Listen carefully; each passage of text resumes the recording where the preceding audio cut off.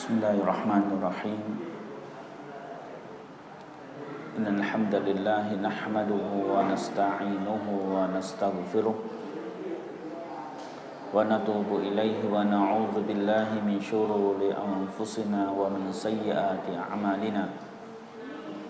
من يهده الله فلا مضل له ومن يضلل فلا هادي له. واشهد ان لا اله الا الله وحده لا شريك له واشهد ان نبينا محمدا عبده ورسوله ارسله الله بالهدى ودين الحق ليظهره على الدين كله وكفى بالله شهيدا اما بعد السلام عليكم ورحمه الله وبركاته สุขสันติความจำเริญ ความโปรดปราน จากเอกองค์ลอสุภานัวตาลา ได้ทรงโปรดประสบแด่บรรดาพี่น้อง ผู้ร่วมศรัทธาทุกๆทท่านครับ อันฮัมดุลิลละถือเป็นเนียมัดเป็นความโปรดปราน เป็นความดีงาม จากเอกองค์ลอสุภานัวตาลาทั้งหลาย ได้ทรงโปรดประสบพี่แด่พี่น้อง ผู้ร่วมศรัทธาที่อยู่ในสถานที่แห่งนี้ ศูนย์อบรมจริยธรรม มัสยิดคอยรุสุนนะทุกทุกท่านเลยนะครับอันฮัมดุลิลละวันนี้ก็รู้สึกดีใจนะครับที่ได้มีโอกาสมาพูดคุยกับพี่น้อง มาร่วมศึกษา วิชาเรื่องราวของศาสนา กับหัวข้อเรื่องที่ค่อนข้างที่จะมีความสำคัญ และน่าจะเป็นข้อคิดข้อเตือนใจ ให้กับพวกเราทุกๆคนนะครับว่าเมื่ออิมานสามารถที่จะเปลี่ยนคนได้ และศาสนาก็จะสู่เขาเรียกว่าสู่หัวใจของผู้คนแห่งการเปลี่ยนแปลง วันนี้ก็อยากจะให้พี่น้องทุกท่านนะครับได้ คือเราอาจจะพูดในกรณีว่าอยากให้เราทุกคนนั้นมีส่วนร่วมในการ พูดคุยซึ่งกันและกัน ในการที่เรานั้นจะไต่ถามข้อมูล เรื่องราวของศาสนาใครที่มีปัญหามีอะไรที่พอที่จะพูดคุยทำความเข้าใจกันได้กับหัวข้อเรื่องที่ทางมัสยิดคอยรุสุนนะได้ตั้งให้ผมได้พูดนะนะหรือพี่น้องท่านใดที่อยากจะมีสิ่งหนึ่งสิ่งใดที่อยากจะเสนอแนะ อยากจะบอกกล่าวมาชาแล้วก็เป็นเรื่องที่สามารถที่จะมีส่วนร่วม ไปด้วยกันได้นะครับก็อินชาอัลลอฮ์นะวันนี้เดี๋ยวเรามานั่งพูดคุยความความเข้าใจกัน เรื่องราวของการเปลี่ยนแปลงนี่พี่น้อง ถือเป็นวิถีของผู้ศรัทธา แล้วก็เป็นวิถีของมนุษย์ด้วย ไม่ใช่ผู้ศรัทธาอย่างเดียว มนุษย์เราถูกสร้างมาในดุนยานี้ไม่ได้ถูกสร้างมาแบบลักษณะเดียว หมายถึงว่าอัลลอฮฺสุบฮานาอัลตาลาสร้างเรามาแล้วเนี่ยให้เป็นเด็กเราก็จะต้องเป็นเด็กตลอดไป อัลลอฮ์สร้างเรามาให้เราเป็นผู้ใหญ่ เราก็จะเป็นผู้ใหญ่ตลอดไปอัลลอฮ์สร้างเราให้เรามีชีวิต แล้วเราก็จะมีชีวิตอยู่ตลอดไป หรืออัลลอฮ์สุภาโนอัตาลาสร้างให้เรามีชีวิตและให้เราตาย แล้วเราจะตายกันตลอดไป เราต้องมีการฟื้นคืนชีพ และแม้กระทั่งการฟื้นคืนชีพ ก็ยังไม่ใช่คำตอบสุดท้ายของเราเหมือนกัน การฟื้นคืนชีพหลังจากที่เราได้แตรสางได้ถูกเป่าขึ้นเนี่ย มนุษย์ทุกคนในดุนยานี้สรรพสิ่งทั้งหลายในดุนยานี้จะถูกยืนขึ้น เราจึงเรียกว่าเยามุนกียามะวันแห่งการยืนขึ้น ทุกคนจะดวงตาลุกโพลงทันที ทุกคนจะยืนขึ้นเพื่อเดินทางต่อไป ท่านอบูฮุไรรอรดิยัลลอฮุอันฮุบอกว่าอัลรอฮีลูตอวีล การเดินทางของเรานั้นยังอีกยาวไกลนะวัสติอาดาดุกอลีนแต่การเตรียมตัวของเรานั้นน้อยนิดยิ่งนัก ไม่พอสเสบียงของเราไม่พอ กับสถานการณ์ในการเดินทางต่อไป หลายคนบอกว่าถ้าไปเขายายเที่ยงสักสองวันเนี่ยเอาขอโทษนะ ถือว่าเขายายเที่ยงเป็นชุมชนมุสลิมนะก็นึกถึงเขายายเที่ยงเป็นตัวอย่าง เตรียมสเสบียงประมาณนี้น่าจะพอ แต่เกิดสถานการณ์หนึ่งสถานการณ์ใดขึ้นมา เกิดถนนปิด เกิดมีประท้วง เกิดมีถนนขาดน้ำท่วมเขื่อนน้ำทะลุขึ้นมาอะไรประมาณนี้สเสบียงที่เราเตรียมไว้ไม่พอ นึกว่ามันจะพอมันไม่พอ ไม่แตกต่างอะไรกับวันอาคือรอที่อบูฮุรอยรอบอกว่าวัสเตดาดูกอลีล ที่ฉันร้องไห้ อันเนื่องมาจากว่า ฉันเตรียมตัวว่าไม่พอ คนอย่างอบูฮุรอยร้อนนี่พี่น้อง คนที่อยู่กับท่านนาบี 24 ชั่วโมงเป็นเงาตามตัว หมายถึงว่าท่านนาบีอยู่ที่ใดท่านอยู่ด้วย ท่านนาบีออกสงครามท่านออกด้วย ท่านนาบีนั้นอยู่แห่งผลตำบลใดจะเห็นอบูฮุไรรออยู่ข้างหลังด้วย เขายังสามารถพูดได้ว่าเขาเตรียมตัวมาน้อยเหลือเกิน สับอะไรกับพวกเราพี่น้อง ที่เราทุกคนนั้นอยู่ในดุนยานี้ด้วยความมั่นใจว่าฉันเตรียมมาดีแล้ว ฉันเตรียมมาพอแล้ว ฉันสามารถไปได้แล้ว ฉันมั่นใจแล้ว ท่านนบีมุฮัมมัดสลลัลลอฮุอะลัยวะสัลลัมบอกว่า ไม่มีบุคคลที่เสียชีวิตคนใด หรือไม่มีมายัดใดนั่นแหละ ที่ถึงเวลาที่วิญญาณถูกดึงออกจากร่าง นบีบอกว่านอกเขาจะฮัสรตัน เขาจะเสียใจ เขาจะเสียดาย เขาจะมีความรู้สึกว่าไม่พอ เขาจะมีความรู้สึกว่าถ้าฉันทำได้มากกว่านี้อัลลอฮ์ยืดให้อายุให้ฉันให้มากกว่านี้ อีกสักสามวันสี่วัน ฉันจะทำให้ดีกว่านี้ ผมเคยเข้าไปหาหมอคนหนึ่งแล้วกันนะ หมอมุสลิมเรานี่แหละ เป็นคนโด่งดังในวงการมุสลิมด้วย ปรากฏว่ามีคนอาหรับเนี่ยมาตัวเองเป็นมะเร็ง ก็บอกว่าเนี่ยอบอกกับเขาเลยนะอย่าฟัดเขาเรียกผมอาจารย์บ้างยาฟัดบ้างเนี่ยนะสนิทกันคุณลุงเขาเป็นมะเร็งนะ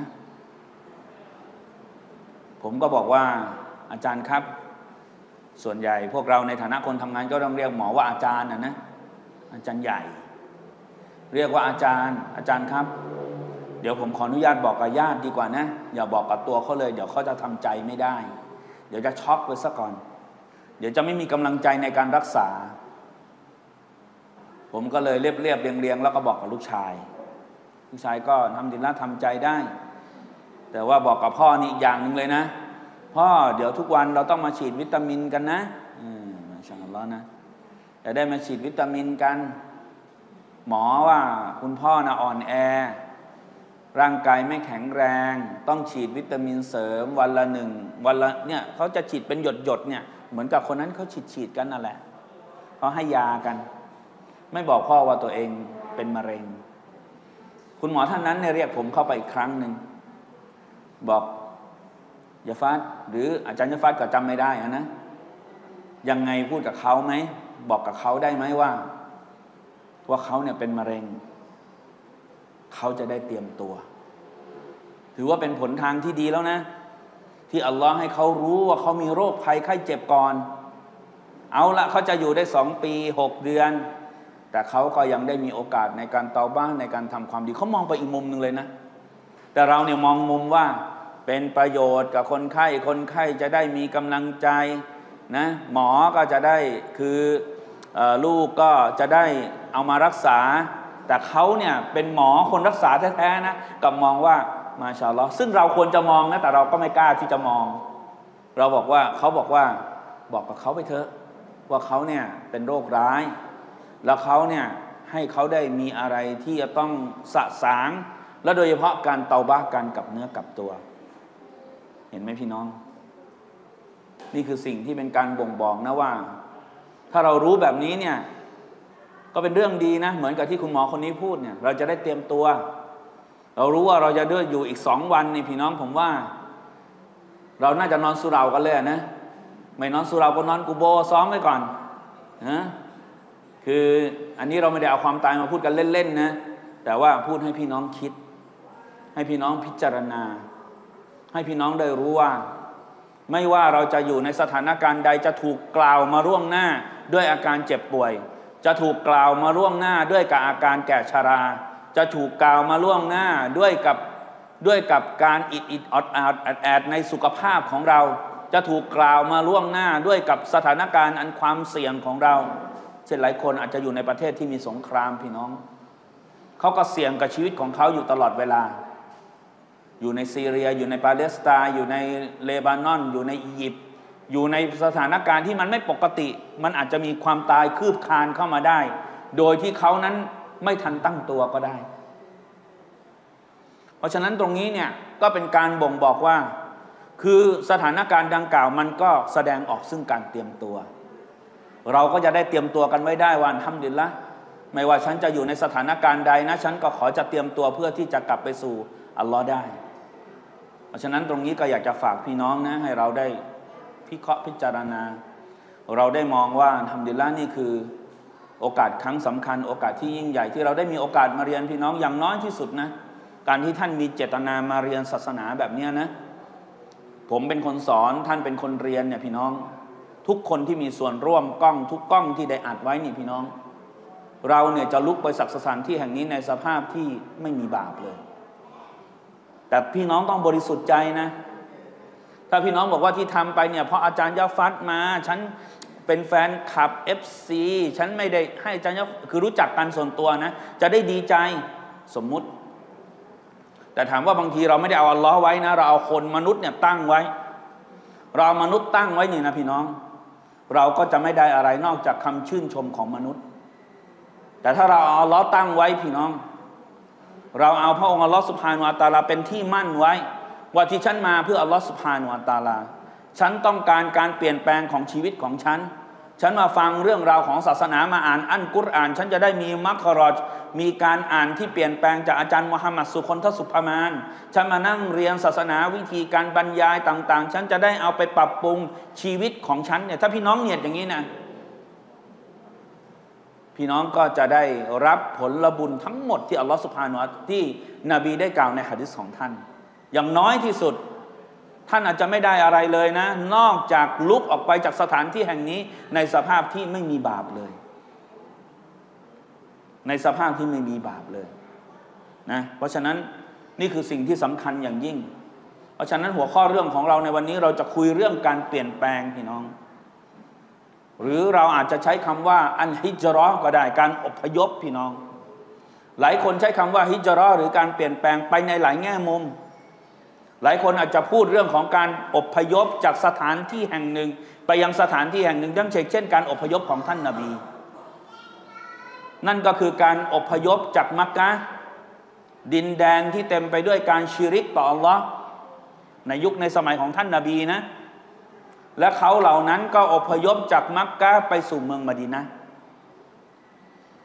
ท่านนาบีมุฮัมมัดสลลัลฮวาอะลัยวะซัลบอกว่าการอพยพลักษณะแบบนี้คืออพยพจากแผ่นดินที่มีฟาซาดมีสิ่งที่ผิดต่อหลักการศาสนาทั้งหลายเนี่ยและไปสู่แผ่นดินที่เต็มไปด้วยสิ่งที่ดีงามนี่นะครับ พี่น้อง จะมีอยู่จนกระทั่งถึงกิยามะ ในฮะดิษบทหนึ่งของท่านนาบีมุฮัมมัดสลลัลฮุอะลัยฮิวะสัลลัมท่านนาบีบอกว่าประตูเตาบ้านั้น จะไม่มีวันปิดเป็นอันขาด ดังเชกเช่น ประตูแห่งการฮิจรั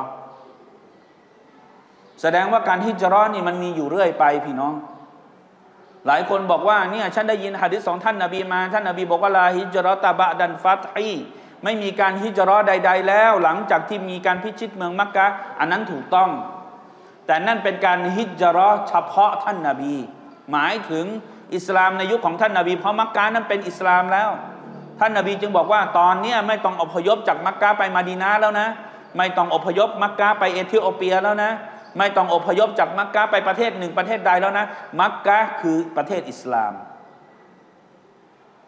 แต่การอพยพในลักษณะอื่น เช่น สมมุติ ในสถานที่แห่งนี้นะ ในคอยรุสุนนะเนี่ยใน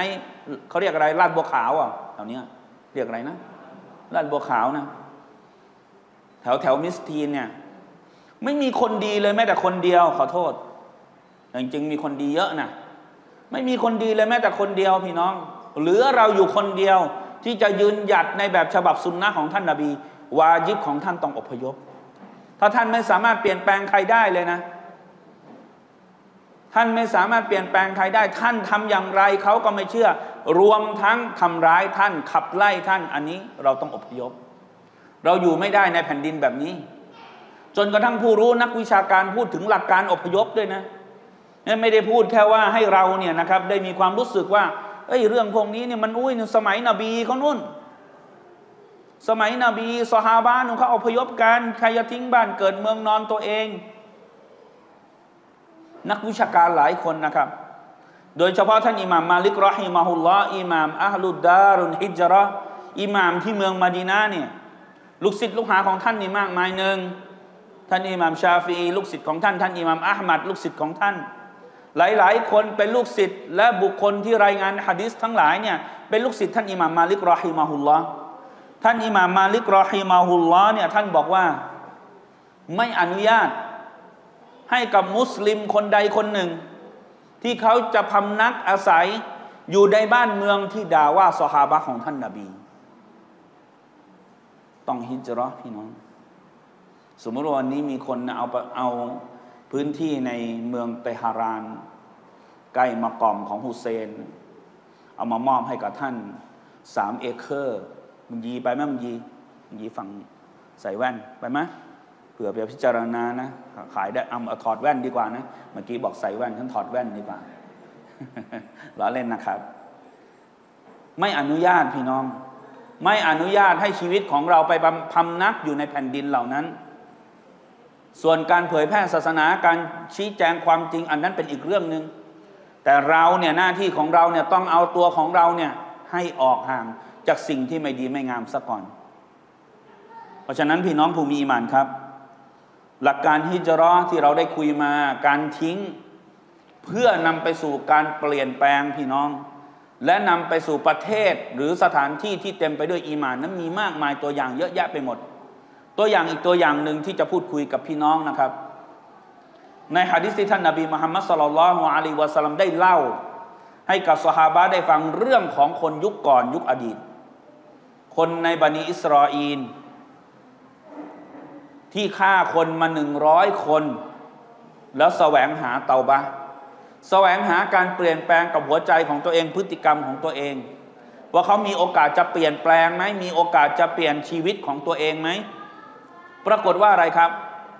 ปรากฏว่าท่านนาบีเล่าว่ามีชายคนหนึ่งในยุคในสมัยหนึ่งฆ่าคนมา 99 คน หัวใจของเขาความรู้สึกของเขาปรารถนาว่าไม่ว่าเขาจะทำผิดประการใดอัลลอฮ์เนี่ยพระผู้อภิบาลของเขาต้องรับการเตาบ้าการกับเนื้อกับตัวของเขา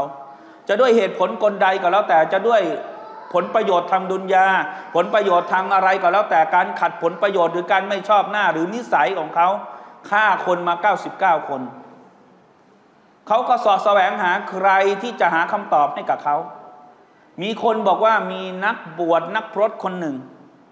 ที่เขาเนี่ย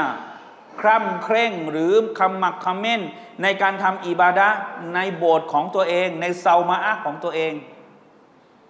อยู่กับอิบาดา24 ชั่วโมง ถามเขาสิเผื่อเขาจะมีคำตอบให้กับท่าน นักบวชนักพรตคนนั้นอยู่ในบรรยากาศของตัวเองพี่น้องอยู่ในความดี เหมือนกับผมนะพี่น้องถ้าปิดหูปิดตาไม่เคยจัดทีวีนะ ไม่เคยไปเจอเจอพี่น้อง ไม่เคยมามาหาพี่น้องเนี่ยอยู่ดีๆ พี่น้องจะไปหาผมเนี่ยจะมีอะไรเนี่ยเดี๋ยวไปหาจันยฟัดนู่น อยู่บนหอคอยงาช้างนู่น ถามว่าจะมีความรู้สึกเข้าใจเหตุการณ์อะไรในบ้านในเมืองเขามีการเปลี่ยนแปลง มีการประท้วงจะเปลี่ยนแบบฉบับ จะเปลี่ยนนู่นเป็นนี่รู้เรื่องไหมไม่รู้ เพราะตัวเองอยู่กับอิบาดาของตัวเองอยู่กับอัลลอฮฺสุภาโนอาตาลา ไม่ได้เปิดโลกทัศน์ของตัวเองมาอยู่กับชาวบ้านชาวเมืองเขา ไม่ได้รู้สภาวะความเป็นไปของผู้คนในสังคม ชายคนนี้เขาก็ต้องการคำตอบพี่น้อง คนฆ่าคนมา 99 คนเนี่ยต้องการคำตอบ ว่าฉันมีโอกาสจะเตาบ้ากับเนื้อกับตัวต่อร้อไหมสภาวะของคนที่จะให้คำตอบมันก็ไม่เหมาะสมเขาไม่สามารถให้คำตอบได้ เขารู้กับความรู้สึกของตัวเอง เวลาได้ยินสิ่งที่ ชายคนนี้พูดว่าข้าพเจ้าได้ฆ่าคนมา 99 คน ฉันมีโอกาสเตาบ้าไหมนักบวชนักพรตคนนั้นพูดในความรู้สึกของตัวเองบอกว่า ระหว่างท่านกับลอสพาโนอัตาลาประตูประตาบ้าได้ปิดเรียบร้อยแล้ว ชายคนนั้นจึงโมโหพี่น้องฆ่ามา 99 คน ฟันไอ้นั่นอีกคนหนึ่งกลายเป็นหนึ่งร้อยคน กลายเป็นคนที่ฆ่าคนครบหนึ่งร้อยคนพอดี อันเนื่องมาจากคำตอบของบาทหลวงคนนั้น คนที่นักอิบาดานักพรตคนนั้น ไม่ได้ออกเงยออกมาดูสังคมว่าสังคมก็เป็นยังไง ไม่ได้ดูหลักการของศาสนา ให้มันรอบคอบ แล้วก็ไม่ระมัดระวังความอันตรายพยันอันตรายกับตัวเองด้วย ก็ปรากฏว่า ความรู้สึกของเขา มันจะต้องมีใครให้คำตอบกับเขาได้สาะแสวงหาต่อไปพี่น้อง มีคนบอกกับเขาบอกว่านู่นมีคนคนหนึ่งเป็นผู้รู้ เป็นนักวิชาการ เป็นคนที่รอบรู้ในเรื่องของศาสนาในยุคสมัยของเขา เขาก็เดินไปหาแล้วก็บอกว่า ฉันมีโอกาสเตาบ้าไหมคำตอบของผู้รู้นักวิชาการคนนั้นที่ตอบกับเขาว่า และจะมีอะไรเล่าที่จะกั้นประตูเตาบ้าระหว่างท่านกับลอสุภานวตาลา แน่นอนเหลือเกินท่านสามารถเตาบ้าได้ ผู้รู้นั่นก็รอด ชายคนนั้นก็สบายใจมาชาเราเห็นไหมนี่ผู้รู้นะ สามารถให้คำตอบได้อย่างถูกต้อง เขาก็เลยหยุดการฆ่าของเขาที่หนึ่งร้อยคน แต่ผู้รู้คนนั้นไม่ได้แนะนำเพียงแค่นั้นที่จะเป็นพอยต์ในหัวข้อของเราด้วย เขาไม่ได้แนะนำเพียงแค่นั้น เขาแนะนำว่าหลังจากที่ท่านเตาบ้าแล้ว อย่าได้กลับไปที่แผ่นดินของตัวเอง เพราะแผ่นดินดังกล่าวเนี่ยเป็นแผ่นดินแห่งการนองเลือดเนี่ยไม่ว่าท่านจะเดินไปในที่ใดท่านจะนึกภาพเก่าๆออกทั้งหมดนี่ฉันฆ่าไอ้นายกอตรงนี้ฆ่ามุฮัมมัดตรงนี้ ไปฆ่าคนนั้นตรงนี้ ไปฆ่าสรยุทธ์ตรงนั้นพี่น้องเห็นไหมเรียกว่าอะไร เรียกว่าจำภาพเก่าๆและอาจจะไปทำกับภาพเดิมได้ เขาจึงบอกว่าให้ไปหาแผ่นดินใหม่อยู่ ไปอยู่ไหนอะ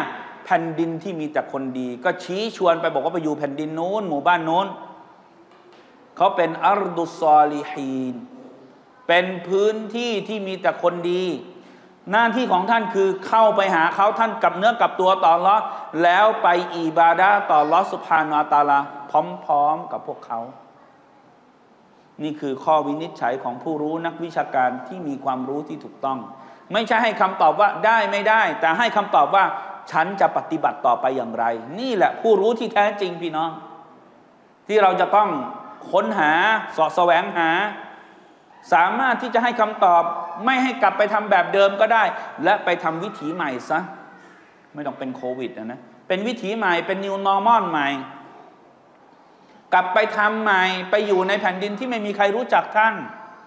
แล้วท่านก็ไปอยู่กับคนที่เขาเป็นคนดี ๆ ทั้งหลาย เขาอามันอิบาดาต่อรัสุภานวตาลาท่านก็อิบาดาพร้อมกับพวกเขา และอย่ากลับมาในแผ่นดินตัวเองเป็นอันขาด อย่าได้กลับมาในหมู่บ้านของตัวเอง ชายคนนั้นก็ปฏิบัติตามนั้นด้วยหัวใจที่เตาบ้าต่อลอสุภานวตาลาจนกระทั่ง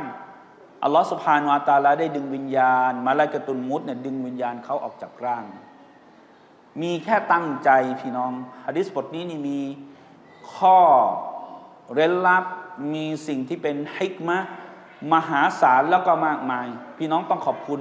แล้วก็พี่น้องต้องเขาเรียกว่าอะไรพี่น้องต้องสะดุดีสลาวาดให้กับนบีเยอะๆที่นบีนำเรื่องนี้มาเล่าให้กับเราฟัง ปรากฏว่าระหว่างทางชายคนนี้เสียชีวิตพี่น้อง มาไล่กตุนมุดดึงวิญญาณออกด้วยกำหนดของเราต้องการที่จะสื่ออะไรให้กับอุมมะประชาชาติของท่านนาบี ชายคนนั้นเสียชีวิตยังไม่ได้เริ่มทำความดีเลยพี่น้อง เต่าบ้าแล้ว ตั้งใจจะไปทำดีแล้ว แต่ยังไม่มีโอกาสทำเสียชีวิตซะก่อนอัลลอฮ์สุภานวาตาลาเนี่ยมาลายมาลายกาแห่งรอห์มะก็มามาลาอิกตุนอาซาบมาลายกาที่จะนำวิญญาณดังกล่าวไปไฟนรกก็มา ทั้งสองก็ โต้เถียงกัน โต้เถียงกันด้วยกำหนดของลอสุภานวาตาลาต้องการที่จะเล่าให้อุมมะประชาชาติของท่านได้รู้ โต้เถียงกันว่า มาลาอิการอมะเขาบอกว่าคนเนี่ยเขาตั้งใจดีเขากลับเนื้อกลับตัวแล้วเขาจะต้องไปสวรรค์สิมาลาอิกาตุนมาลาอิกาตุลอาซาบมาลายกาแห่งไฟนรกก็บอกว่า นี่มันฆ่าคนมาตั้ง 99 คน มันยังไม่เริ่มต้นทำความดีเลย มันเตาบ้าแค่นั้นเอง เอามันไปนรกไปชำระในไฟนรกซะ ทั้งสองก็ขัดแย้งกันพี่น้อง ปรากฏว่าในบางริวายะก็บอกว่าอัลลอฮฺสุภาโนตาลาให้ลมพัด ลมพัดให้ร่างของเขาเนี่ยนะไปชิดกับเมืองที่เป็นความดี จึงมีผู้กล่าวบอกว่าท่านทั้งสองลองวัดระยะทางเอาสิ ระยะทางว่าห่างจากเมืองที่เป็นเมืองไม่ดีเนี่ยมากกว่าหรือใกล้กับเมืองที่ดีมากกว่า มาลายกตุนอาซาบมาลายกาที่จะเอาไปไฟนรก มาลายกาที่จะเอาไปสวรรค์เนี่ยก็วัดระยะทาง ปรากฏว่าร่างของชายคนนั้นเนี่ยใกล้กับเมืองที่ดีมากกว่าอัลลอฮฺบัรนำพาเขาไปสู่สวรรค์ได้พี่น้อง เห็นไหมพี่น้อง นี่คือการเปลี่ยนแปลงครั้งใหญ่ เปลี่ยนแปลงเพียงแค่เตาบ้าตั้งใจดีเท่านั้นเองนำพาเราไปสู่สวนสวรรค์ได้ ยังไม่เริ่มต้นเลยพี่น้อง แต่ด้วยพระเมตตาพระกรุณาของลอสุภานุอัตาลาที่ท่านนาบีมาเล่าให้กับอุมมะประชาชาติของท่านได้ฟังฮะดิษบทนี้พี่น้องยืนยันกับพี่น้องนิดนึงนะ เป็นฮะดิษซอฮียบันทึกโดยท่านอิหมัมบุคอรี แต่ว่าอาจจะมีรายละเอียดเล็ก ๆ น้อยๆ ที่อาจจะอาจจะผมไม่ได้อ่านจากตัวบทฮะดิษนะ เอารายงานแบบความหมายให้กับพี่น้องฟัง แต่ความหมายใกล้เคียงแบบนี้นะครับ นี่คือวิถีทางพี่น้อง วิถีทางแห่งการเปลี่ยนแปลง วิถีทางที่เราเนี่ยมีโอกาสพี่น้อง เราไม่ยอมตอบแบบไหนนะบางทีนะบางบางมุฮัมมัดปะชื่ออะไรบางมุฮัมมัดเนาะบางสุไลมานบางสุไลมาน เรามีวิถีแห่งการเปลี่ยนแปลงได้ ใครหลายคนอาจจะถามเราพี่น้อง บางคนเนี่ยเดี๋ยวนี้เราไปเจอคนเนี่ยนะครับ พี่น้อง เห็นคนมีรอยสักบ้าง เห็นคนทำสัญญกรรมบ้างพี่น้อง มุสลิมเราเนี่ยไม่น้อยนะ ผมอยู่ในแวดวงทางด้านทางด้านทางด้านแพทย์มาก่อนเนี่ยพี่น้อง เราวัดจากคนอาหรับก็ได้นะ คนอาหรับก็มีเรื่องพวกนี้ เรื่องเกี่ยวกับการทำสัญญกรรม ผู้หญิงก็มี ผู้ชายก็อยากจะเป็นหญิงก็มี เห็นไหมพี่น้อง แม้ว่าจะเป็นเสรีนิยมใด ๆ ก็แล้วแต่แต่เรายังอยู่ในเสรีของอันอิสลาม เราถือว่าอิสลามคือนิวฟรีดอมอยู่แล้วพี่น้อง นี่ไม่ได้เป็นส่วนเกี่ยวข้องกับพวกอะไรนะ หมายถึงว่าไม่ได้เกี่ยวข้องกับพวกผ้าอะไรสักอย่างหนึ่งนะ อันนี้เป็นเป็นเป็นอิสระเสรี มนุษย์เราพี่น้องไม่สามารถมีเสรีทุกอย่างได้ เพราะมนุษย์เราไม่ใช่สัตว์พี่น้อง มีใครหลายคนตัวเองอยากจะเป็นสัตว์ไหมมีไหมมีอยู่กลุ่มเดียวพี่น้องที่อยากจะเป็นสัตว์คือกาเฟรูนวันนี้เนี่ยอยากจะเป็นมนุษย์นะแต่วันกิยามะตัวเองอยากจะเป็นสัตว์เพราะเห็นสัตว์เนี่ยมันโอ้โหเวลามันฟื้นคืนชีพขึ้นมาแล้วมันเป็นไง มันกลายเป็นหินมันกลายเป็นดินหมดเลย ราะสัตว์มันไม่มีโลกการสอบสวนพี่น้อง มันอยู่ในดุนยานี้เนี่ย มันก็เป็นเครื่องมือ เป็นอาหาร เป็นสิ่งที่จะคอยย้อมใจ เป็นสิ่งที่คอยสร้างความเพลิดเพลิน ให้กับผู้ศรัทธาทุกๆคนให้กับมนุษย์ด้วย ท่านนบีมุฮัมมัดสุลลัลวะลัยวะสัลลัมได้พูดในฮะดิษกุดซี่บทหนึ่งบอกว่าอัลลอฮ์สุบฮานุอัตาลาได้ทรงตรัสบอกว่าอินนีอัลลอฮ์สุบฮานุอัตาลาได้สร้างทุกสิ่งทุกอย่าง เพื่อพวกท่านทั้งหลาย ก็คือเพื่อมนุษย์ทั้งหลาย และและฉันก็ได้สร้างพวกท่านทั้งหลาย เพื่อตัวฉันคือลอสุภานวตาลา ให้เราเคารพพักดีต่อพระองค์ เพราะฉะนั้นเราเนี่ยนะพี่น้องต้องเคารพพักดีต่อลอสุภานวตาลา คือบัญญัติของเรา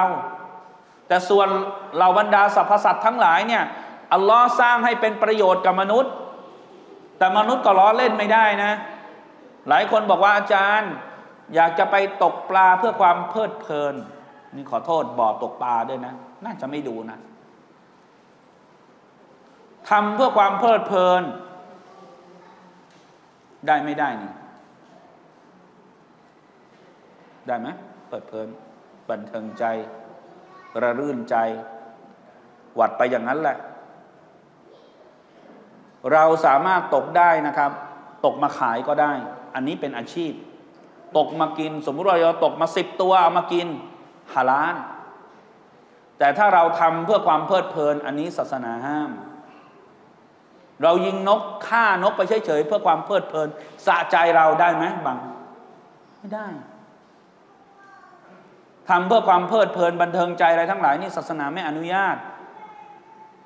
แต่ทำเพื่อให้เกิดความมันมีเป้าหมายของมันอันนี้ศาสนาให้อนุญาตทำได้นะครับ ราะฉะนั้นฮะไม่มีอะไรนะ เพราะฉะนั้นประเด็นเหล่านี้ที่เราคุยกันนั่นก็คือว่าเพื่อที่ต้องการให้พวกเราทุกคนนั้นนำพาสู่การเปลี่ยนแปลง และให้เรานั้นได้รู้ว่าสิ่งที่เราได้กล่าวได้พูดนี่นะครับ เหมือนดังเช่น บอกกล่าวกับเราว่า หากว่ามีใครสักคนหนึ่ง เขาต้องการที่จะเตาบ้ากับเนื้อกับตัวเขาสามารถที่จะเปิดได้ท่านนบีมุฮัมมัดสลลัลฮวาเลวะซัลบอกว่าประตูเตาบ้าของอัลลอฮ์เนี่ยจะเปิด จนกระทั่ง มนุษย์ทุกคนนะ วิญญาณออกจากร่าง ก็คือในขณะที่วิญญาณของเราจะดึงออกจากร่างนี่นะ อันนั้นน่ะดงลูกกระเดือกแล้วเนี่ย อันนั้นน่ะประตูตาบ้าปิดสำหรับคนคนนั้น แต่คนอื่นที่มาดูเนี่ยยังเปิดอยู่นะพี่น้องนะ แล้ววิญญาณจะเตาบ้าจะปิดอีกครั้งหนึ่งนั่นก็คือเมื่อดวงอาทิตย์ขึ้นทางทิศตะวันตกหลังจากนั้นเนี่ยเวลามนุษย์เห็นดวงอาทิตย์ขึ้นทางทิศตะวันตกนี่พี่น้อง มนุษย์ทุกคนจะเตาบ้าหมดเลยอัลลอฮฺอักบัรสิ่งที่นบีกล่าว สิ่งที่อัลลอฮ์กล่าวนี่มันเป็นจริงเหรอเดี๋ยวในเดือนพฤศจิกานะ พี่น้องอาจจะมีจันทรุปราคาประมาณวันที่ 8 พฤศจิกามั้งนะพี่น้องเฝ้าดูนะ ถ้าเกี่ยวข้องกับบ้านเราเราได้เห็น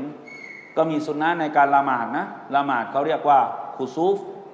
นะคูซูฟก็คือการที่ดวงจันทร์เนี่ยได้ถูกบังบังแสงของตัวเอง ให้เราเริ่มต้นละหมาดจนกระทั่งมันคลายออก ที่เราละหมาดเนี่ยเรากลัวว่าอัลลอฮฺสุบฮานุอัตาลาจะให้ชนกัน เพราะวันกิยามะเนี่ยไม่มีใครทำได้พี่น้อง ระบบสุริยะจักรวาลการโคจรทั้งหลายเนี่ยมันโคจรตามระบบมันใช่ไหมตามพระประสงค์ของอัลลอฮ์แต่วันกิยามะอัลลอฮ์ให้มันชนกัน ดวงดาวมันจะตกจากฟากฟ้าพี่น้อง นี่แค่อะไรนะ เรามีลูกอุกาบาตนะตกลงมาที่ใดก็แล้วแต่ในโลกดุนยานี้สะเทือนกันทั้งโลก และอัลลอฮ์สุบฮานุอัตาลาให้ให้เหล่าบรรดาดวงดาวทั้งหลายเนี่ยตกเหมือนกับเหมือนกับใบไม้ร่วงอะพี่น้อง อยู่ยังไงดุนยานี้ พังพินาศแน่นอน แล้วล้อให้ดวงให้ดวงจันทร์เนี่ยดวงดาวเนี่ยดวงอาทิตย์เนี่ยชนกันพี่น้อง อันนี้มันแค่บังกันเฉย แต่ถ้าอัลลอฮฺสุภาโนตาลาประสงค์ให้ชนกันละ่ะ มุสลิมอย่างเราเนี่ยเรารู้ว่าสิ่งดังกล่าวนั้น คืออายะของอัลลอฮ์สิ่งที่อัลลอฮ์ได้อะไร สิ่งที่อัลลอฮ์ได้ให้เป็นสัญลักษณ์ของพระองค์ และมันจะอยู่ตามพระประสงค์ของลอสุภานวาตาลานะเพราะฉะนั้นพี่น้องก็ติดตามข่าวสักนิดหนึ่งนะน่าจะวันที่8นะ8พฤศจิกาเท่าที่ผมพอจะดูในอินเทอร์เน็ตนะแต่ว่าล่าสุดนี่เกิดที่เราเรียกว่าสลาตุนกูซูฟนะก็คือเป็น สุริยคาตสุริยุปราคา ก็เกิดขึ้นในกลุ่มของโลกอาหรับ ในยุโรปในรัสเซีย แล้วก็มีในแถบพอลิชด้วย ที่ฮารอมที่มักกะก็ละหมาดด้วยละหมาดละหมาดซอลาตุนกุซูฟนะเพราะฉะนั้นในวันที่8เนี่ยอาจจะเกิดขึ้นในบ้านด้วยตักดิษของอัลลอฮ์นะถ้าเกิดขึ้นในบ้านเรามีการเห็นอย่างชัดเจน แล้วก็มีการบดบังแสงดวงของดวงจันทร์ในยามค่ำคืน เราก็เข้าสู่การละหมาดนะเราเรียกว่าซอลาตุนกุซูฟนะเป็นสุนนะโมอักกะดะอยากจะให้พี่น้องปฏิบัตินะแล้วก็ไม่อยากให้ใครพลาด เพราะว่าสี่ปีบางทีสี่ปีมันจะเกิดครั้งหนึ่งสองปี เกิดครั้งหนึ่งสามปี แต่ว่าพี่น้องจำไว้นะ หลังๆจะถี่ขึ้นถี่ขึ้น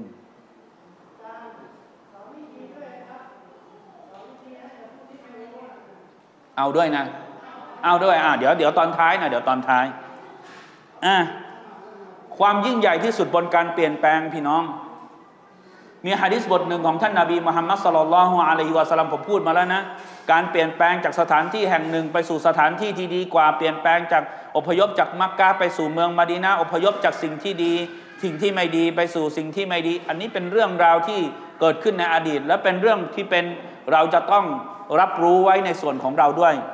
การเปลี่ยนแปลงที่ถือว่าเป็นหัวใจหลักที่สุด นั่นก็คือการเปลี่ยนแปลงในการที่เรานั้น ละทิ้งในสิ่งที่ไม่ดีไม่งาม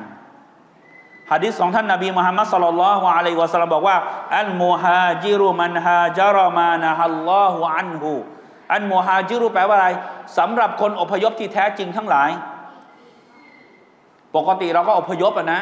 แต่นบีบอกว่าคนอพยพที่แท้จริงทั้งหลาย ที่ว่ายังอยู่เนี่ย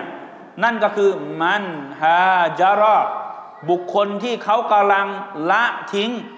มานะฮัลลอฮุอันฮูในสิ่งที่อัลลอฮฺสุบฮานวะตาลาได้ห้ามปรามเขา นี่แหละผู้อพยพผู้เปลี่ยนแปลงที่แท้จริง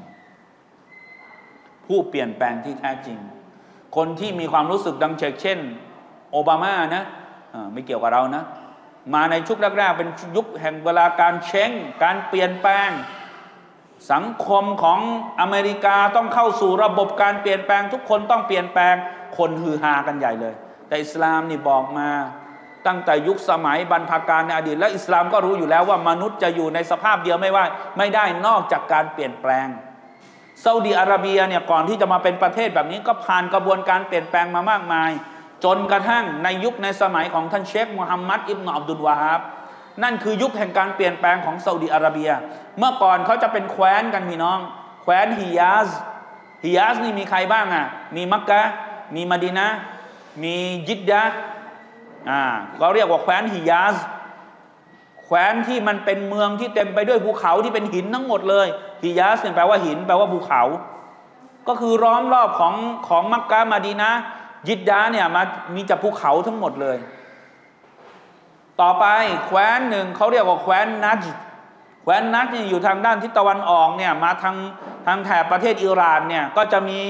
ริยาดมีกอซีมอ่าที่เรารู้จักกันอะนะก็เป็นเมืองเกิดเป็นสถานที่เกิดของท่านเชคมูฮัมมัดอิบนอับดุลวาฮับท่านเชคมูฮัมมัดอิบนอับดุลวาฮับก็นำการเปลี่ยนแปลงมาสู่ในแคว้นฮิยาสแล้วก็แคว้นนัจด้วยทำยังไงอะด้วยกับการเผยแผ่เตาฮีด ให้เอกภาพต่อ Allah นักวิชาการจึงถือว่าท่านเชคมุฮัมมัดอับดุลวาฮับเป็นมูจัดดิดมูจัดดิดว่ามุสลิฮมูจัดดิดแปลว่าอะไร ผู้ที่เปลี่ยนแปลง ผู้ที่ทำให้ศาสนาของลอสุภานวาตาลานั้นมีความยิ่งใหญ่และก็กลับมาโดดเด่นเหมือนเดิม อันเนื่องมาจากว่าในยุคของท่านเชคมุฮัมมัดอับดุลวาฮับเนี่ย มีความรู้มากมาย ไม่ได้หมายความว่าขาดผู้รู้นะ แต่ผู้รู้เนี่ยมุ่งตัวเองไปสู่การเรื่องราวของมัสอาละต่างๆ มัสอาละอะไรอะ่ะประเด็นเรื่องราวของฟิกบ้าง ประเด็นเรื่องราวของการขัดแย้งของผู้รู้นักวิชาการในอดีตบ้าง ประเด็นเรื่องราวเรื่องนั้นเรื่องนี้บ้าง เพื่ออะไรพี่น้อง จนกระทั่งตัวเองเนี่ยลืมว่าเขาต้องสอนอักีดะและก็เตาฮีด คำว่าอากีดาและเตาฮิดก็มีผู้สอนไม่ได้หมายความว่ามีผู้สอน แต่สอนแบบตรงๆจากอันกุรอานและอันฮะดิษนั้นน้อยเหลือเกินทำให้ไม่ได้รับการยอมรับเท่าไหร่ ท่านเชคมุฮัมมัดอิมนอมดุลวาฮับจึงนำอากีดานำหลักเตาฮีดดังกล่าว มาเผยแผ่ แล้วก็บอกกับผู้นำในยุคในสมัยนั้น ผู้นำเห็นด้วย นี่คือหลักการจากอันกุรอาน นี่คือหลักการจากฮะดิษของท่านนาบี ก็นำพาไปสู่การเปลี่ยนแปลงและรวบรวมประเทศดังกล่าว ให้เป็นประเทศเดียวกันคือซาอุดิอาระเบีย ด้วยกับถือธงอะกีดะลาอิลาฮะอิลลัลลอฮ์มุฮัมมัดุลรอซูลุลลอฮ์นี่คือสิ่งที่เป็นความเปลี่ยนแปลง เพราะฉะนั้นความเปลี่ยนแปลงดังเช่นผมบอก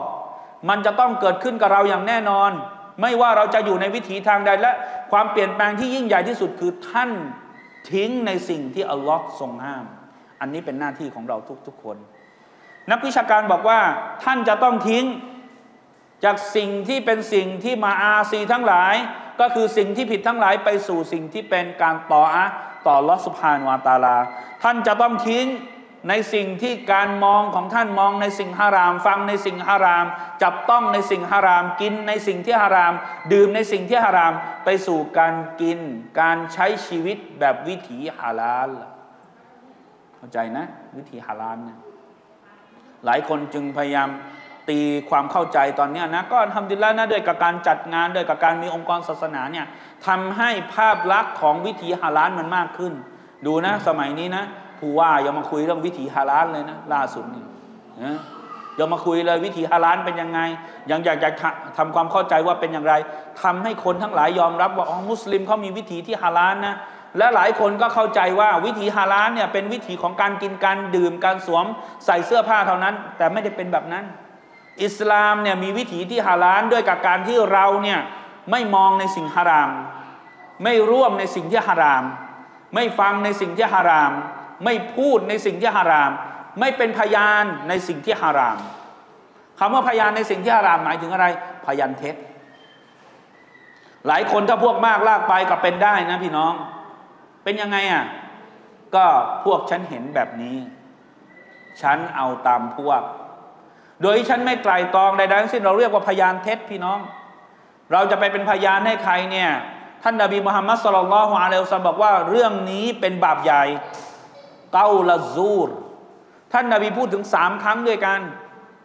สิ่งที่จะทำให้มนุษย์พินาศนี่มีเจ็ดอย่าง และนบีก็พูดหนึ่งในเจ็ดนั่นก็คืออัลาวะเกาลซูรอัลาวะเกาลซูรอัลาวะเกาลซูรท่านทั้งหลายพึงรู้พึงทราบเถอะนะไอพยานเท็จทั้งหลายคำพูดที่โกหกทั้งหลายเนี่ยมันคือบาปใหญ่ด้วย หลายคนไม่ระวังพี่น้อง หลายคนไม่สนใจเหมือนดังเช่น นินทาว่าร้าย ใส่ร้ายป้ายร้ายใส่ร้ายป้ายสีทั้งหลายเนี่ยบางคนไม่สนใจอะไรเลย เอาอะไรก็ได้พูดอะไรก็ได้ แล้วโดยเฉพาะเรื่องชาวบ้านนี่นะ นั่นคืองานของเรานี่ไม่ใช่งานของเราพี่น้อง เรื่องชาวบ้านคือเรื่องของเขา แต่เรื่องของเราต้องนาซีฮัตเขาอันนี้ใช่ ต้องปรับองศาสมัยนาซีฮัตไม่ได้พี่น้อง คือเราเนี่ยต้องอยู่ในสภาพเดียวพี่น้อง สภาพของการตักเตือน สภาพของการตักเตือน เราจะไปอยู่ในสภาพอื่น เช่น เรื่องชาวบ้านฉันต้องช่วยแก้ไข ฉันจะเอาไปโฆษณาเอาไปพูดออกเอาไป อันนี้ไม่ได้พี่น้อง เอาไปประจานนี้ไม่ได้ มีเจตนาร้ายกับเรื่องของคนอื่น แม้กระทั่งเรื่องของเราตัวเราเองก็ไม่ได้เหมือนกันนะครับ เพราะฉะนั้นนี่คือสิ่งที่ท่านนาบีสั่งสอนว่าให้เกิดการเปลี่ยนแปลงคืออะไร ให้เราทิ้งในสิ่งที่อัลลอฮ์ทรงห้ามนะท่านนาบีก็ได้พูดนะครับ เหล่าบรรดาผู้รู้นักวิชาการบอกว่าการฮิจรอที่จะนำพาสู่การเปลี่ยนแปลงที่แท้จริงเนี่ยนั่นก็คือพยายามที่จะเสียสละบนวิถีแห่งความรู้ดังเช่นพวกท่านทั้งหลายนี่แหละ เสียสละบนวิถีแห่งความรู้ เพราะวิถีแห่งความรู้นี่สำคัญมาก มันจะนำพาสู่การเปลี่ยนแปลงที่แท้จริง มันเป็นมรดกตกทอดของเหล่าบรรดาอัมบียะพี่น้อง ความรู้นี่นะ เป็นมรดกตกทอดของอัมบียะ และอัมบียะเหล่านั้นเนี่ยเขาไม่ได้ทิ้งเงินไว้แม้แต่แดงเดียว ดิรฮัมเดียว แต่เขาทิ้งวิชาความรู้ไว้ให้กับพวกเรา ท่านนาบีบอกว่าفمن أخذه บุคคลใดก็แล้วแต่ที่เอาความรู้ดังกล่าวไว้أخذ بحظ وافر เขาจะเป็นคนที่โชคดีมากๆ เป็นคนที่สมบูรณ์ที่สุดเลยในดุนยานี้แม้ว่า ฐานะของเขาจะยวบยาบก็ตามนะแต่เขามีความรู้พี่น้องเห็นไหม เพราะฉะนั้นพี่น้องการฮิจรออีกอย่างหนึ่งหรือการกระทำในการสวนทางนะในสิ่งที่ไร้สาระทั้งหลายเนี่ยท่านควรจะท่านนาบีก็ส่งเสริมให้เราเนี่ยออกไปดูมัคคุลูของอัลลอฮ์การเราไปดูมัคลูกของอัลลอฮ์เนี่ยหลายคนบอกโอ้บ้านนี้เที่ยวจังเลย เที่ยวเก่งจังเลย แต่ส่วนหนึ่งนะการที่เราไปเที่ยวเนี่ยก็เท่ากับเป็นการปฏิบัติตามคำสั่งของอัลลอฮ์เหมือนกัน อัลลอฮ์สั่งว่าอย่างไรفسيروا في الأرض ท่านทั้งหลายจงท่องเที่ยวจงเดินไปในหน้าแผ่นดินของอัลลอฮ์فانظروا كيف كان عاقبة المتقين แล้วไปดูซิคนที่เขามีบั้นปลายที่ดีคนยำเกรงเนี่ยเขามีบั้นปลายที่ดีอย่างไร คนที่เขาฝ่าฝืนเขามีบั้นปลายอย่างไร ให้เราไปพิจารณา ให้เราไปดู ให้เราไปดูมัคคลุของอัลลอฮ์เราจะได้ขอบคุณต่ออัลลอฮ์ ว่ามาชาอัลลอฮ์นะสรรพสิ่งทั้งหลายที่อัลลอฮ์ได้สร้างเนี่ยมันกว้างใหญ่มันยิ่งใหญ่ไพศาลมันสวยงาม เราจะได้กล่าวอันฮัมดุลิลละนะนี่คือสิ่งที่อัลลอฮ์สุภาโนตาลาให้ทดแทนนะในการที่เรานั้นจะละทิ้งในสิ่งที่ไร้สาระทั้งหลาย ถ้าเราอยู่ที่เดิมมันก็คุ้นคิดพี่น้อง มันก็อยู่กับความจำเจแล้วมันก็พูดคุยกันอยู่อย่างนั้นแหละ มันก็กลายเป็นบาปที่เพิ่มขึ้นไปท่องเที่ยวซะดีกว่า ดีกว่าอะไรครับ ดีกว่าเราอยู่แบบนี้บางเรื่องนะบางครั้ง แต่การอยู่แบบนี้เนี่ยนะอยู่เพื่อการเรียนรู้อยู่เพื่อการเป็นพี่น้องกันมันก็เป็นเรื่องที่ดีงามนะครับยะซักุมุลลอฮุคอยรันนะขอเราส่งโปรดปานพี่น้องมีข้อสงสัยใด ๆ ในหัวข้อเรื่องที่ผมได้พูดกับพี่น้องอาจจะไม่ได้ชัดมากนะแต่จะพูดคุยกับพี่น้องว่าที่ผ่านมาทั้งหมด 1,400 ปี และเป็นไม่รู้กี่ล้านปี อิสลามคือการเปลี่ยนแปลง เปลี่ยนแปลงชีวิตของมนุษย์ จากมนุษย์คือมนุษย์นี่นะ มาสู่การเป็นบ่าวของอัลลอฮ์เปลี่ยนแปลงดึงมนุษย์ทั้งหลายนะครับ จากที่มืดมาสู่แสงสว่าง จากเดิมมนุษย์เนี่ยอยู่ในแสงสว่างนะพี่น้อง แต่มนุษย์เนี่ยไปอยู่ในที่มืดอัลลอฮฺสุบฮานุอัตาลาจึงให้เขาเนี่ยมาอยู่ในแสงสว่างของอัลลอฮ์มาอยู่ในรัศมีของอัลลอฮ์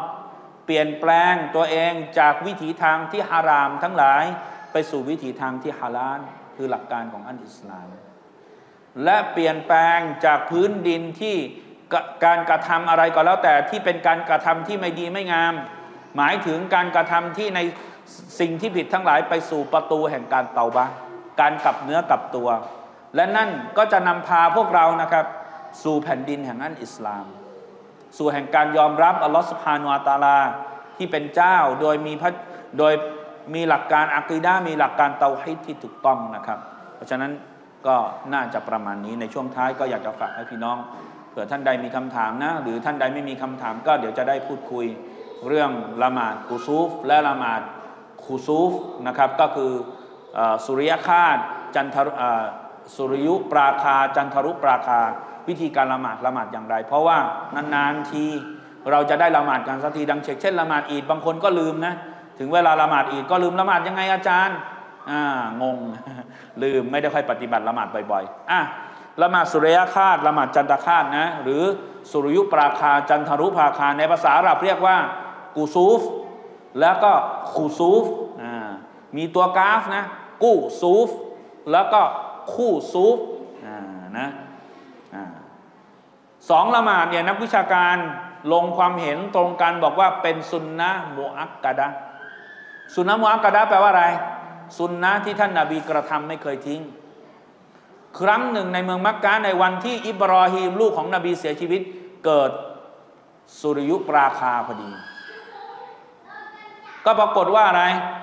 ปรากฏว่าคนก็อื้ออึงกันในมักกะบอกว่าเนี่ยเห็นไหมลางร้ายลางร้ายเลยเนี่ยอิบรอฮีมตายเนี่ยเหตุการณ์ดังกล่าวจึงเกิดขึ้น เหมือนดังเช่นคนบ้านเราเมื่อก่อนในสมัยย้อนไปสัก 20 ปีเขาต้องเอาของดำเจ็ดอย่างใช่ไหมเอามาเส้นไหว้เอาเอาอะไรนะ เอากองมาตี เพื่อที่จะให้อะไรเทพเจ้าผักออกผักออกอันนั้นไม่ใช่ของเรานะ แล้วไม่เกี่ยวข้องใด ๆ กับเราด้วย เรามีหน้าที่ท่านนบีมุฮัมมัดสุลลัลวะลัยอุซัมบอกว่าฟาอิดารอไอตูมูฮูเมื่อใดก็แล้วแต่ที่ท่านทั้งหลายเห็นมัน กรณีเห็นนี่พี่น้อง ก็อาจจะไม่ได้มีข้อขัดแย้งใดๆนะ เห็นว่ามันเกิดอะไรอาจารย์แล้วถ้าเกิดมีเครื่องมือมองเห็นแล้วว่ามันเกิดนะได้ไหมอะหรือว่ามีข่าวมาบอกว่ามันเกิดที่หนองจอก แต่ไม่เกิดที่คอยรุสุนนะเนี่ยนะพื้นที่ใกล้ๆไม่น่าจะมีปัญหานะแต่พื้นที่ไกลๆนักวิชาการหลายคนก็มองว่าอยากจะให้ท่านเห็น คือในหมู่บ้านนั้นเห็นในสถานที่ดังกล่าวนั้นเห็น ก็ใช้คำว่าฟาอิดารอไอตูมูฮูนะ หรือข่าวข่าวในเมืองนั้นเป็นที่บอกกล่าว กันทั่วกันทั่วไปหมด ก็ห้ามดุลิละน่าจะไม่มีปัญหาแต่ประการใด เพราะบางทีมันอาจจะมืดที่หนองจอกก็ได้นะ แต่มันไม่มืดที่คอยรุสุนนะก็มีเหมือนกัน แต่ว่ามันมีข่าวบอกมาแล้วก่อนทำดีละให้เป็นวินิจฉัยของอิหมามเข้าไป ให้อิหมามเขาเป็นผู้รับผิดชอบ ถ้าอิหมามจะละหมาดก็อันทำดีล้วเราก็ละหมาดถ้าอิหมามบอกว่าเอา้า เราต้องเกิดที่คอยรุสุนนะเอาละงั้นก็เป็นวินิจฉัยของอิหมามไป ถ้าพี่น้องบอกว่าฉันเดี๋ยวฉันไปหนองจอกดีกว่า ฉันจะได้ละหมาดก็สามารถกระทำได้ ไม่ได้มีปัญหาแต่ประการใดพี่น้อง เรื่องราวเหล่านี้ไม่ได้หมายความว่าจะต้องชี้เป็นชี้ตายชี้ถูกชี้ผิดนะ ขอให้เป็นวินิจฉัยของอิหมามเข้าไปนะเอาตามนั้นนะพี่น้องนะ จะได้ไม่ขัดแย้งกัน ต่อจากนั้นท่านนาบีบอกว่าเมื่อเราเมื่อเราเห็นแล้วเนี่ยเป็นอย่างไร ฟาซอลลูท่านทั้งหลายจงละหมาดเถิดวัดเดียวท่านทั้งหลายจงขอดูอาเถิดวาตสดดากูท่านทั้งหลายจงทำสดกอเถิดนะครับ หลังจากนั้นล่ะละหมาดเนี่ยท่านนาบีใช้เป็นการเฉพาะว่าฮัตตายังกชิฟาจนกระทั่งมันคลายออก แสดงว่าการละหมาดนั้นเป็นการละหมาดที่ยาวนาน ท่านนบีก็เริ่มต้น สอนเรื่องการละหมาดนี่นะพี่น้องฟัง เริ่มต้น ตักบีรอตุนอิรอม การอาบน้ำละหมาดนี่อาบน้ำปกติพี่น้องการอาบน้ำละหมาดต้องมีน้ำละหมาดอยู่แล้ว ตักบีรอตุนอิรอม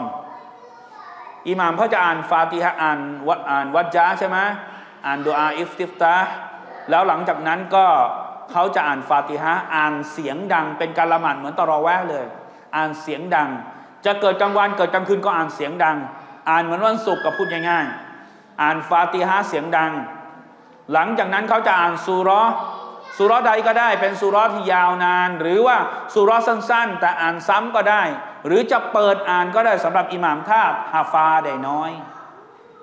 การเปิดอ่านของอิหม่ามในการละหมาดสุนนะเนี่ยนักวิชาการอนุญาต เอามาจากไหนอะเอามาจากฮะดิษของซักวานซักวานเนี่ยเป็นเมาลาเป็นคนรับใช้ของท่านหญิงอาชารอดีอัลลอฮุอันฮาในวันที่ท่านหญิงอาชาเนี่ยจะละหมาด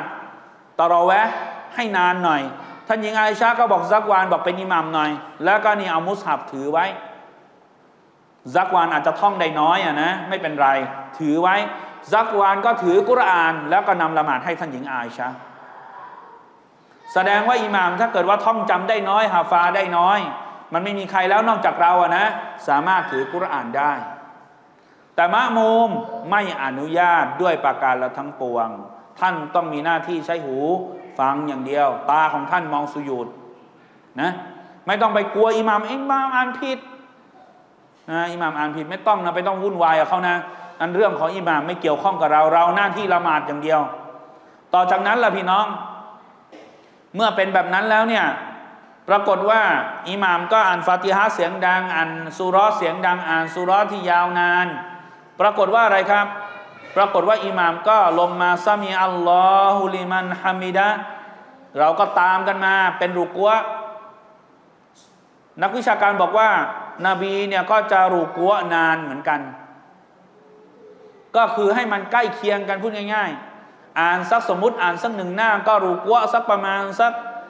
สักห้านาที พี่น้องให้มันมีความรู้สึกว่าใกล้กับการอ่านหน่อย หลังจากนั้น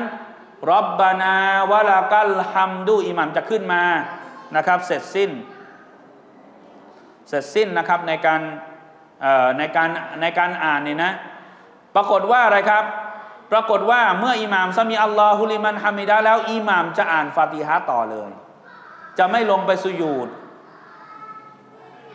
จะไม่มีการสุญูดนะในในรอกาดแรกเนี่ยยังไม่สุญูดนะรูกัวเฉยๆแล้วก็ขึ้นมาขึ้นมาอะไรอ่านฟาติฮะ ฟาติฮะเสร็จอิหมัมก็อ่านซูรอพออ่านซูรอเสร็จอิหมัมก็ลงไปรูกัวพอรูกัวครั้งที่สองอิหมัมถึงจะลงสุญูด